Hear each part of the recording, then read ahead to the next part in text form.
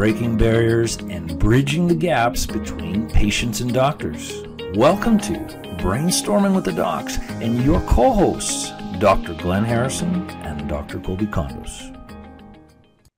All right, everyone, welcome back to this week's episode of Brainstorming with the Docs. I'm Dr. Kolby Condos, my co host, as always, Dr. Glenn Harrison. How's it going, buddy? I'm good. I'm good. I'm good to be back. I'm, I'm excited Yeah, to be it's been a back. minute. Uh, it's one of those things where we got really busy in life and decided to take a little break Mhm. and back like we never left. That's right. Or so we think. We'll see how Yeah. it goes. So today, when we were brainstorming about potential topics and ideas, um, this actually came into my office last week. And when we were talking about it, we're like, my goodness, why have we not thought about this before? Because it affects just a huge amount of people. Uh, so today we're going to be talking about peripheral neuropathy. Um, if this is you or someone you love, make sure you hit like and subscribe and turn on notifications uh, because we're going to continue to roll out content on a semi-regular basis about stuff like this, and you never know uh, when it might help you, um, or when the information might be applicable to you or your loved ones. So let's talk neuropathy Neuropathy. One. Peripheral neuropathy. everywhere. Yes. Yeah. Uh, some some of the statistics we looked up when we did this is it's like 2.4% of the population is affected by some form of peripheral neuropathy, and that uh, that occurrence increases to 8% as we age. That's the thing. So so it progresses. It progresses over Yes. time.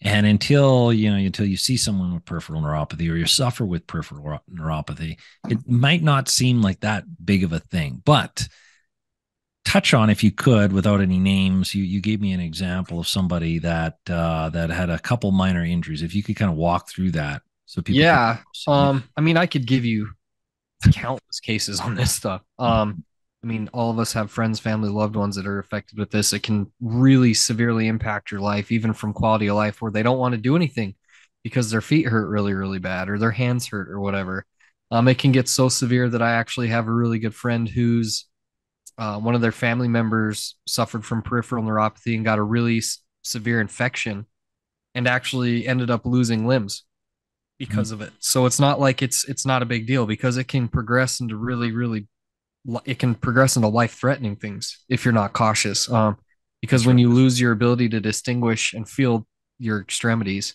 and you injure them and you get an infection and that infection just rages until there's physical signs or you know whatever then it, it can cause some severe yeah, complications it, it change changed people's lives permanently. yeah yes But you know, turn them from being, you know, independent living to being handicapped.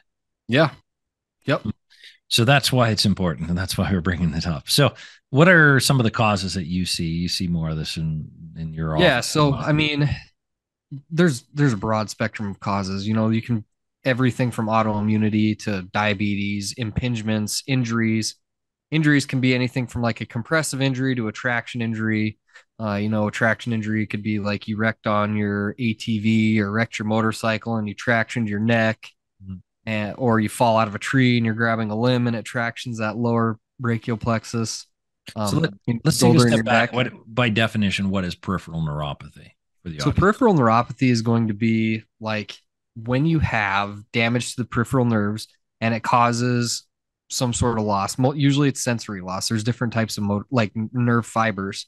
Um, usually the fibers that are affected first are what are called C fibers, and those are your your lessly myelinated or unmyelinated nerve fibers, and those are responsible for like pain and temperature and crude touch.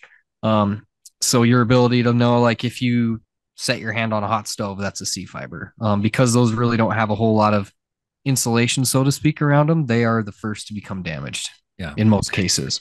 So, um, Other things can be like metabolic factors, uh, chemotherapy, drugs, Mhm. you know, diet. There's there's a whole bunch of stuff. yeah, and and symptoms, as you said, depending on on what nerves being irritated, but burning can be. I, I get. I've seen that in Yep. clinic where people are, you know, pain, pain, burning, tingling, uh, you know, lack of sensation, so numbness and numbness. You don't you don't know how bad numbness can affect your life until you have it. Where Yeah. you, I, I've seen it people in the fingers where they they fumble, like a mechanic friend of mine. He he would fumble with bolts and stuff like that when because he he had a cervical impingement, so it wasn't you know pathogenic. And when when that would light up his neck, the nerve would get pitched in his you know in his probably his nerve root or farther down, and then he couldn't work with with any kind of bolts. It was terrible. It was terrible. And that that's just a minor thing. But if people start to get peripheral neuropathy or lack of numbness sensory in their in their feet, just walking is difficult. Yeah. I mean, you think about some of the risk factors associated with neuropathy, right? Especially if it's like peripheral neuropathy. So, say from like diabetes, it's going to hit your feet first. Um, it's kind of hard to walk if you don't know where your feet are at, yeah. right? Yeah. Um, your feet are a long way from your heart. So, vascular or like blood flow to that area is going to stay stagnant because gravity's pushing it down there, right? Um, it's harder to push it up against gravity. When you you have something like diabetes, is going to damage the vasculature as well. So say you step on something like I don't take your pick a thumbtack, right? Or you get a sliver and that mm-hmm. thing gets infected and you have no idea because you can't feel it. Till it's until it's too late. Right. Yeah. Until someone goes, Hey, why is your foot black? You know? Mm-hmm. And then it's like, oh, we're in trouble.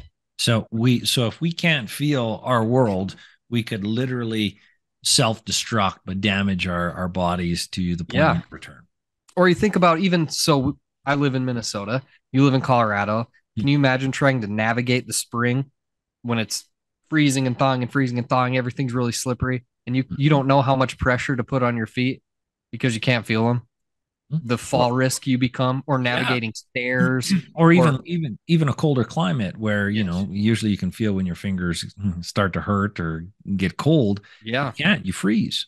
Yeah. Freeze you freeze your fingers or hands or feet or whatever it is. So um so those are some of the things. Um we talked about risks you know path pathology. Diabetes is a big thing. I see diabetes. yeah huge. I would say out of the people that i I think I've probably seen out of in the past year, I've probably seen two people that suffer from peripheral neuropathy that isn't from diabetes. And of the two people, both of them have a mechanical onset, like it's some stenotic changes in their low back that's causing it. But that, uh, again, that can cause a different type of peripheral neuropathy, mm-hmm. right? So yeah, um, so the different the different types of neuropathy. I know we we we talked about sensory kind of lack of. Yep. But what are some of the others?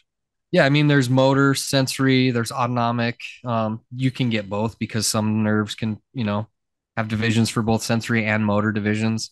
Um, do, you, do you see do you, what you're doing with more in the neural world? Do you see autonomic uh, nerve neuropathy? Do you, do you see that?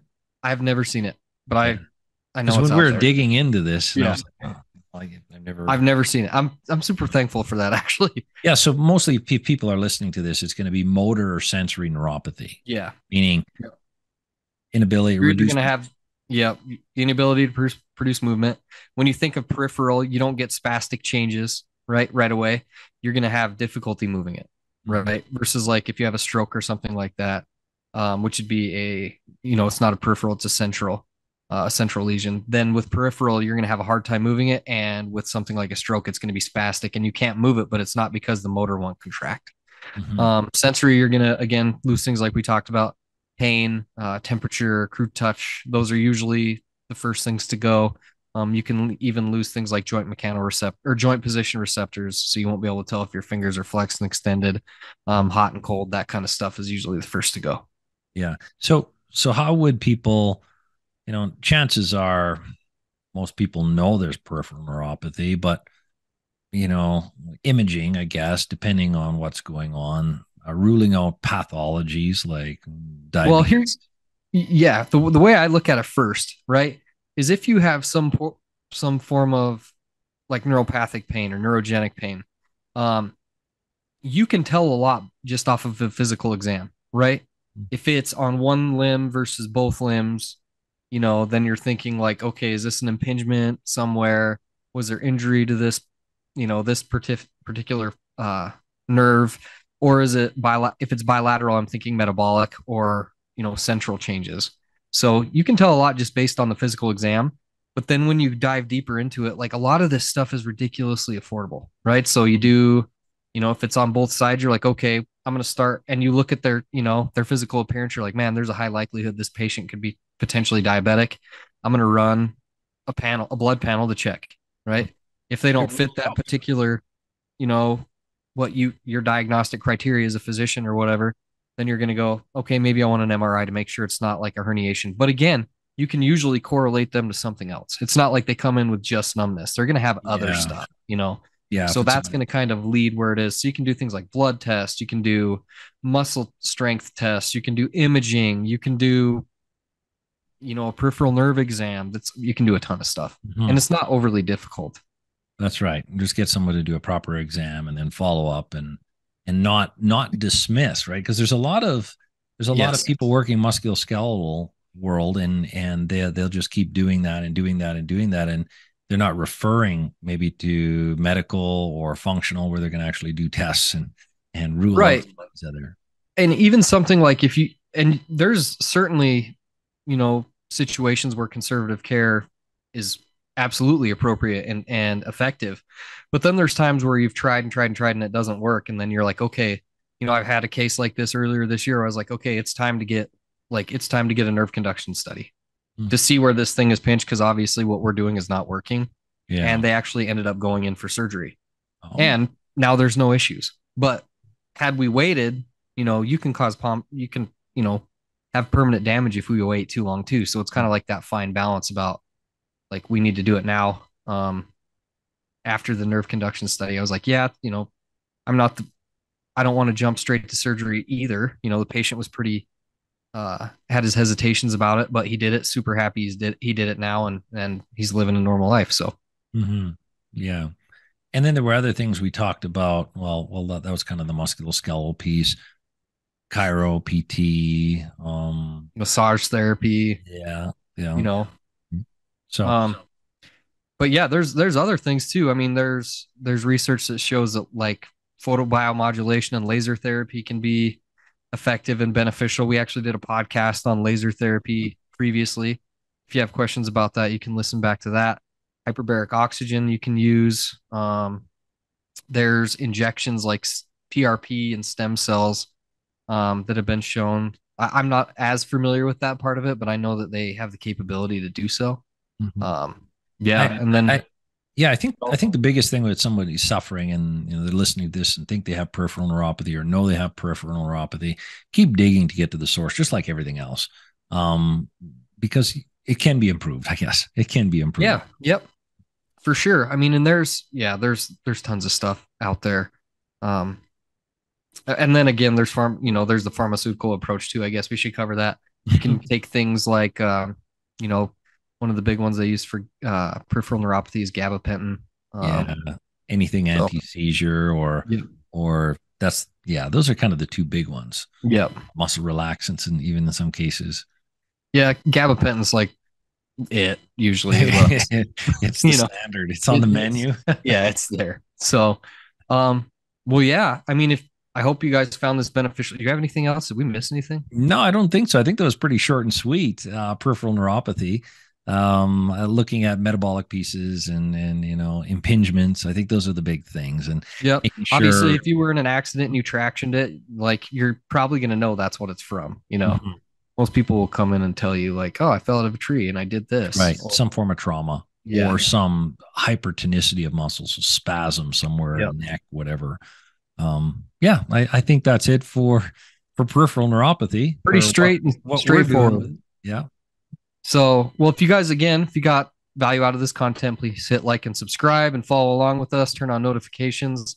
Um, we are going, we, we have explored the option about potentially starting like an online store, I guess, where you guys can get higher quality supplements. Um, if that's something you guys might be interested in, please let us know.